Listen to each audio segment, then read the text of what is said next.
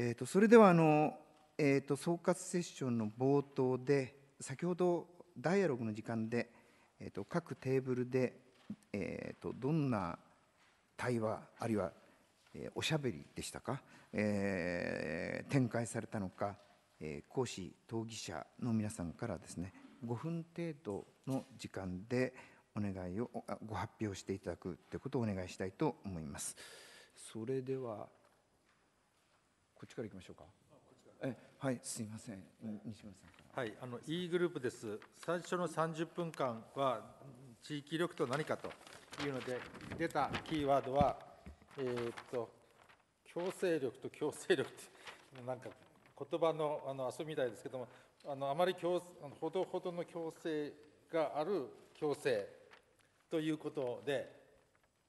あのやはりその地域で非常にやっぱりこちらの強制先ほどあの黒田さんからの問題提起にもありましたけどやはりそのこの強いられるっていう強制っていう部分もあるのでここをいかにあのバランスをとってそうじゃないものにしていくかっていうのが非常に重要だと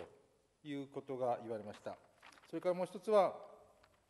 えー、そういう中であの気づきがあった人が、うん率先しないといけないんだけどもその気づきだけではなかなかものは動かないのでそれをうまくあの展開するための場作りですとか機械作りですねきっかけ作りというのがあって初めて先に一歩に進むんじゃないかと。でそういうことがやれるところが地域力があるというところではないかというお話になりました。続けていいんですかね？後半。後半。はい。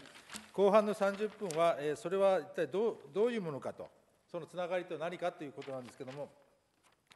それはあのおせっかいっていう話がありましたけどあのほどほどのおせっかいではないかと。でやっぱりその強制力と絡むところがあるのでやっぱりバランスのいいほどほどのおせっかいが大事でそのほどほどになるほどほどのなり具合っていうのは、えー、思いやりを持っていたり、まあ、心のゆとりがあったり、まあ、相手との人間関係にある種の余地があったりするようなことがあのそのほどほどにつながっていってそれがあのいい関係につながるんじゃないかでそれを無理しないということですね。でまたあの前半でも出たんですけど無理しない、えー、無理強いしない無視しないという三内主義がいいんじゃないかという意見も出てます。以上です。それじゃあ引き続いてお願いいたします。えっ、と A グループです。あの今のあの前の、えっと、とすごくよく似ているなと思ったのがまず最初に思いやりの心を育てる。でこれはやはりゆとりを持って、えー、生活できるようなあそういう心を育てる。でここでもあのほどほどのおせっかい。あの踏み込みすぎずあの、まあえー、っと社会の中で、えー、亡くなっていくあの孤独死があったとしても数まあ最低でも1日ぐらいでその人を見つけられるようなえおせっかいが焼けるようなそういうあの地域であってほしいなっていうふうに出ました。それからあの地域力をいかに培い受け継いでいくかってこの時私たちのグループ A グループはあの非常にあのパーソナリティ豊かな方たちで、えー、っと大学生からあの海外で長く住んでいらしたりエネルギーをあのずっと研究していらしたりっていう方たちであの自分たちの考え方がなかなか一つにはまとまらなかったんですけど、えっと、地域の課題を捉え小さなところの課題を捉えそれの解決する方法をその地域で考えてそれでそれを子どもたちに見せていく。あの親がやっている姿を見せていく。でまあ、えっと、見せ方にいろいろあるねっていう話が出ましてあの山本五十六のあの話が出たりあのしました。でもあの私たちはやはりこれをつなげていかなければいけないので子どもたちへの見せ方は参加させるそういうようなことも考えなければいけないねということが出ました。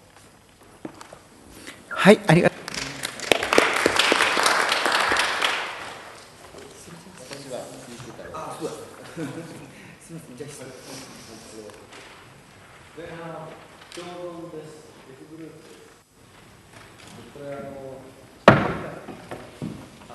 失礼しまし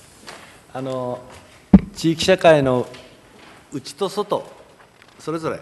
共存っていうのがキーワードになるっていう話でした、えーうちはやはりさまざまな人々いるわけでそういう人たちがですね共存していく必要がある。で人と人との共存だけじゃなくて例えば地産地消っていうような言葉と関わるような共存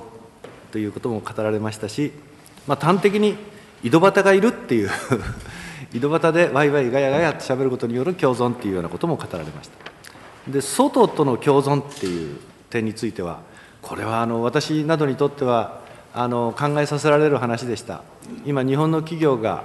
あのどういう状況なのかっていうようなことがですねあの実際に企業で働いていらっしゃった方でリタイアされた方から語られましてあの何て言いますかね道理の道理ではない道理の通りではないようなことが行われている場合がことがあってその時にあの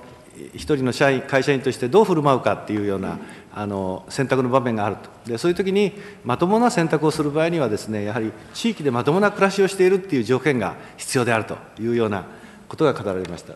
そういう意味でのあの地域社会と企業会社との共存っていう意味もあります。これでなおあの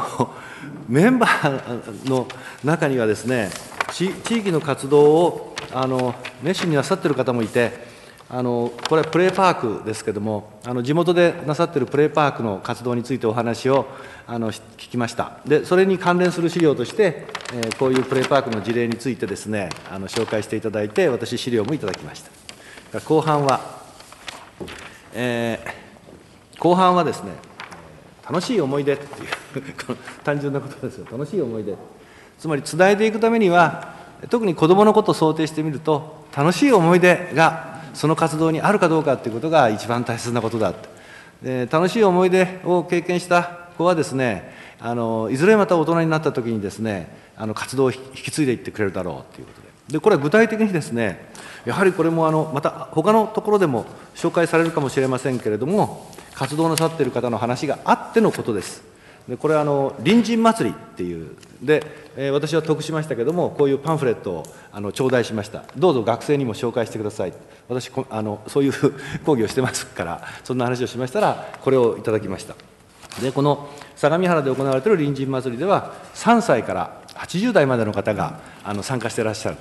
で一つの事例としてはお隣同士、えー、駐車場をですねえー、こう並んでますからそこであのそうめん流しを なさったっていうことも聞きました。であのそういう意味で、えー、引き継ぐためには楽しい思い出っていうのが大切だっていうことです。以上です。じゃあすみません。お願いできますか。えっと B 班ですけど最初のですね私の考える地域力とはっていうのはこれあのちょっと長いんですけど変な人も安心して素でいられる力。まあ、あの先ほどね海外から人が来てとかって話もあったんですけど、まあ、あのそうは言ってもね今も地域にいろんな人いるじゃないかということで、まあ、いろんな人たち、まあ、あの変な人っていうのはいい意味でも悪い人でもいろんな人たちがやっぱり素で安心してあの生活できる力をあの地域力っていう、まあ、こういったところをこう伸ばせればいいんじゃないかということであのこういう意見がありました。で2つ目のですね地域力そのつながりで大事にしたいことっていうのは、まあ、これもあの情報の見える化で、まあ、これはあの情報をまあ地域で受け取る方もありますし逆に情報を流したいと思う時もやっぱこういう情報がスムーズにこう見えるところで流れていく受け取りたい時に受け取れるそういうつながりを大事にしたいなっていうそういうところでどんどん地域がつながっていくことによって、まあ、地域のつながりってもうずっと続くものですのでやはりどんどん情報が見えていくことによって、まあ、地域のつながりを大事にしていきたいなということでこちらとさっきのことですねあのあれも集まりました。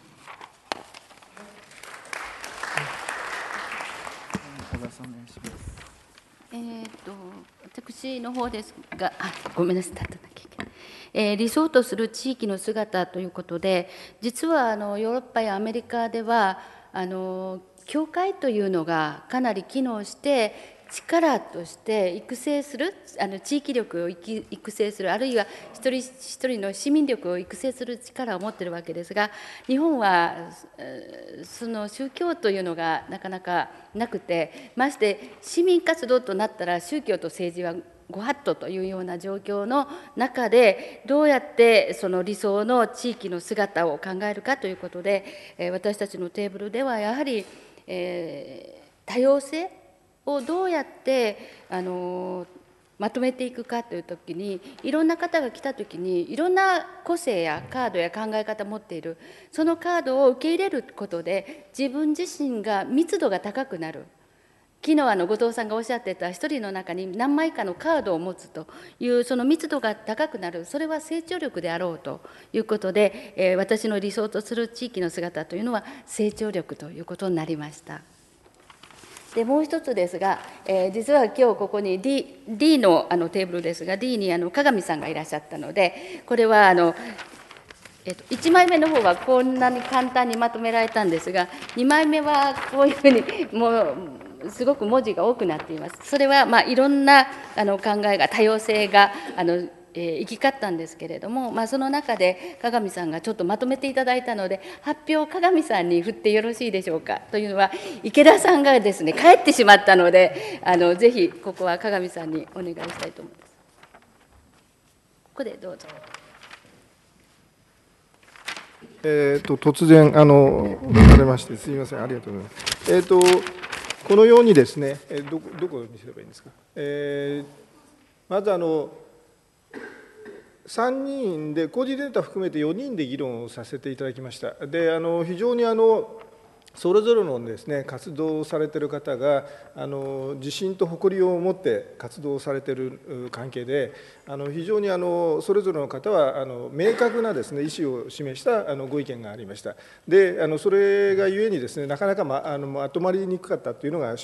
正直なところです。あの地域の中で活動されている方の多様性を示したようなあの、えー、グループでありました。でそういう中ではですねあの今日あの意見として出たのは一つはその役立ち感という言葉がありましてその、えー、人に対して役立つということと役に立って自分自身がですね成長する満足するという気持ちがですねあのあるのではないか。それがあの地域の中で自分があるいは地域の人たちが成長する一つのきっかけになるだろうと。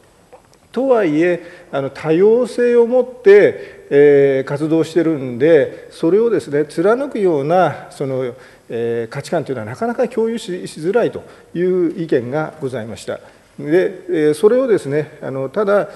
それら多様な活動をまとめるためには結びつけるためには気づきというのが必要で、当然そのいろんな世代の方と気づきを共有しなければならないわけですが、人々の中には人間として地域社会の中で活動しようというそういう善意があるだろうと。善意があるのでそういうあの、その人に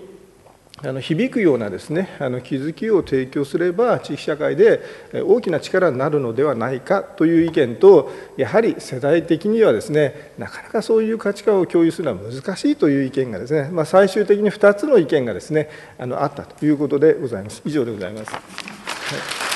ありがとうございま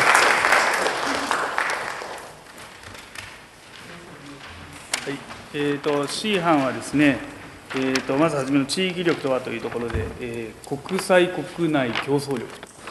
えーと、海外にあの住まれた方も、えー、中にいらっしゃったんですけれども、えーと、これはどういうことかといいますと、まあ、よく地域で、えーまあ、地域の中にはあの